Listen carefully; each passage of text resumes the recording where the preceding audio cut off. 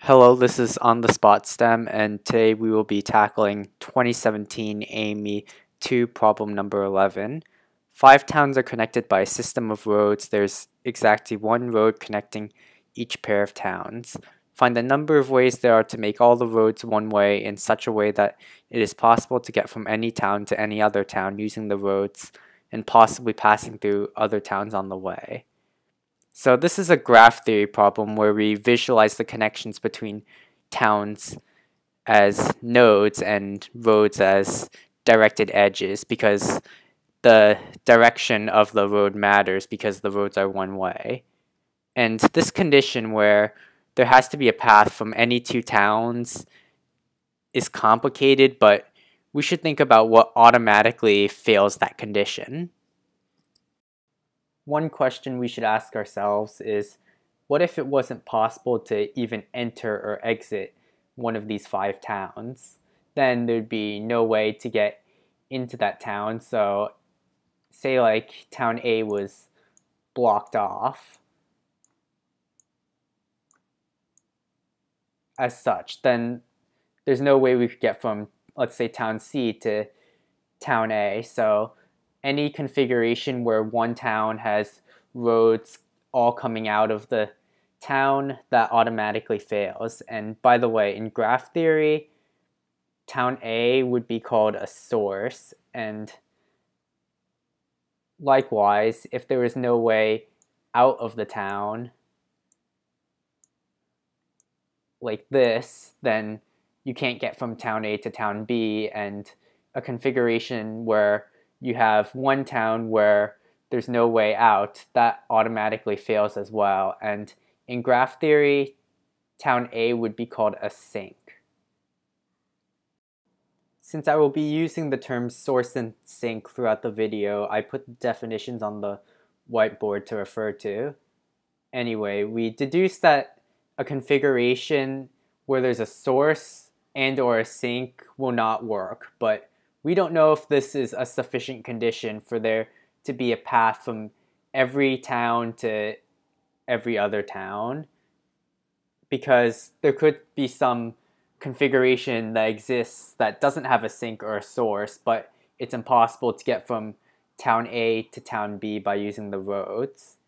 However, one very powerful tool in graph theory when dealing with connections involving directed edges is to look at loops and to look at their size. Remember that we only have five towns to work with and not something like 2017 towns, so that makes it a lot easier to play around with the graph and figure out how big the loops need to be. And we are doing this under the assumption that no town can be a source or a sink because we want to ultimately figure out if if the graph having no source or no sink is sufficient enough for us to being able to get from any town to any other town just by using the roads. So let's start with town A. Because we know that town A cannot be a sink, it must point out to some other town. And let's have it point to town B because it doesn't matter which one. And we know town B cannot be a sink, so it must point out to some other town. It can't point back to A, but it can point point out to C, D, or E. So let's have it point out to town C. And like with town B and town A, town C must point to some other town in the graph. It can't point back to town B, but it can point back to town A. And here we have a loop consisting of three towns. But we could continue this loop from town C to town D, and town D cannot point back to town C because the roads are one way, but we can have town D point back to town B, which creates a loop of three, or we can have it point back to town A, which creates a loop of four. But we can also continue this loop to town E, and town E can point back to town C, which gives a loop of 3. It can point back to town B, which gives a loop of 4. or it can point back to town A, which gives a loop of five around all five towns. So just by playing around and using the fact that we were assuming that no town could be a sink and that a town had to point to some other town, we were able to deduce that the graph is forced to have a loop of three or four or five. So we can break this up into cases and ultimately determine whether we can reach any town to any other town using the one-way roads. So the first case is that there's a loop of three somewhere in the graph, and we'll denote A, B, and C as the towns in this loop of three. And the other two towns, one of them, there has to be a road between the two, and it doesn't matter the, the direction. But we do know that D is not a sink, so it must point to some town, which has to be one of these three because of the direction. It can't point back to E. So there must be an entrance to this loop of three from these two towns, which means E can also enter the loop. And we have to make sure we can enter these two sets of towns. And we know E is not a source, so there must be a town that's a road that's coming into vertex E. So it can't be from D, so it has to be from one of these three towns. So as we can see, with a loop of three, we have shown that every town is reachable from any other town. Now let's move on to the case with the loop of four. Town E is neither a source nor a sink, so there has to be at least one road coming in and at least one road coming out. And because all the other towns are in a loop, there's an entrance into the loop and an exit out of the loop. So we have shown that if there's a loop of four, then we can reach any other town from any town. And the case with a loop of five is easy because we can just rotate around the loop until we reach the town that we want. So just by playing around with those loops previously and still using the assumption that there are no sources or sinks, we prove that to reach any town from any other town, the configuration merely just has to be free of sinks and sources. But there could be multiple sinks or sources, and we should try to figure out how many there could be. So let's assume that town A is a source. And then let's try to make town B a source as well. So all the arrows must be pointing outwards of town B. But we assume that town A was a source and that already fixes the road between A and B. So we can't have more than two sources in the graph. And likewise, we can do the same for sinks. And prove that there can't be more than one sink in the graph, but can we have a sink and a source? Let's make B a sink. Then that means we have these arrows pointing into town B, and it works out without conflict. So we can have either one source and no sink, one sink and no source, or one source and one sink.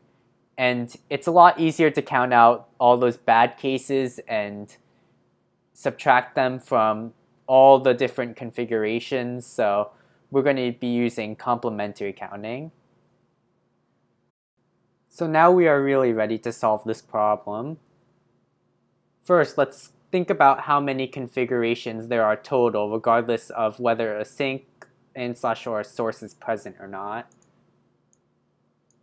So there are five choose two roads because we choose any pair of, of towns and there's exactly one road in between those two towns. So 5 choose 2 is 10 and there are two directions that we can assign for the for each of the 10 roads. So in total there are 2 to the 10 configurations that may or may not contain a sink and or a source. now let's consider the cases where there is a sink or there is a source or there is both. First, let's consider the case where there is a sink, but there may or may not be a source. With let's assume town A is the sink. That means these four roads are fixed because we want to make it so that there's no way out of town A. However, it doesn't matter what we do with the remaining six roads, so the number of cases here is 5 times 2 to the 6. And the 5 is there because it doesn't necessarily have to be town A to be the sink. It can be town B, town C, town D, or town E. And next, let's consider the configurations that contain a source, but we don't know if a sink is present or not. Again, let's assume town A is the source. And again, six of the roads are fixed, four of the roads are fixed, six of the roads we can change to our desire. So we write 5 times to the 6 again. But here we overcounted the cases where there's a sink and a source because there's some overlap between these two cases. So we need to add those configurations back in because we subtracted them off twice, but we only want to subtract them off once. So let's assume town A is a source. Next, let's assume town B is a sink. And there are five choices for our source, and then after that we have four choices to choose our sink. And as you can see, there are one, two, three, four, five, six, seven roads that have the direction fixed, so we can do whatever we want with the three remaining roads.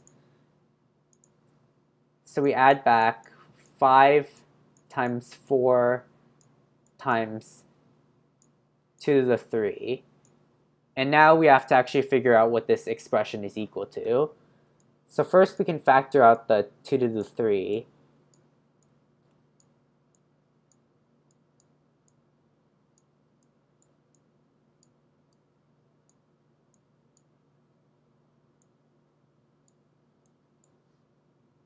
Oops, that should be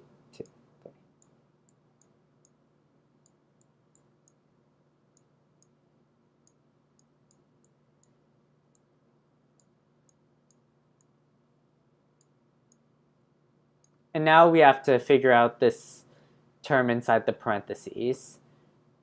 2 to the 3 is 8. 2 to the 7 is 128. And then we have minus 40, minus 40, but we add back 20. And then this comes out to be 68. And then we multiply that by 8 to get 544 for our final answer.